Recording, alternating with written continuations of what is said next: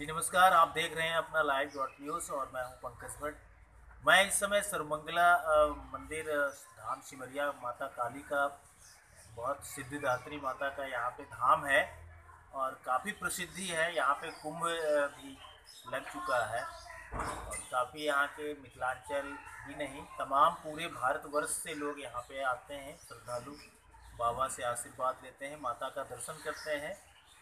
मैं अभी के वर्तमान परिस्थिति में जो राष्ट्र की बात हो रही है, राष्ट्र हित की बात की जा रही है, हर एक व्यक्ति चाहता है कि मुझे राष्ट्र हित में कुछ करना चाहिए।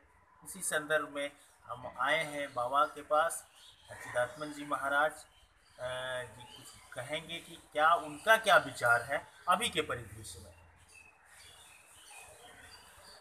संपूर्ण भारतवासी एक है, हमें जातिवाद संप्रदायवाद क्षेत्रवाद से ऊपर उठकर राष्ट्र हित को ध्यान में रखते हुए मतदान करना चाहिए और अवश्य मतदान करना चाहिए।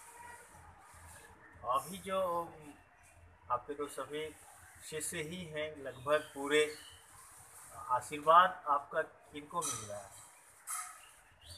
राष्ट्र हित की बात जब आती है तो उसमें यह देखा जाता है कि जिनसे अधिक राष्ट्र कल्याण का काम कल्याण का कार्य होता है उनकी तरफ़ और उन्हीं की तरफ़ आशीर्वाद भी जाता है।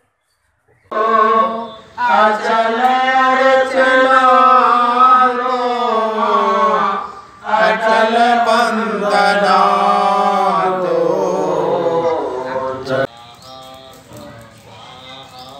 देखिए ये भी बाबा अभी हवन कर रहे हैं। small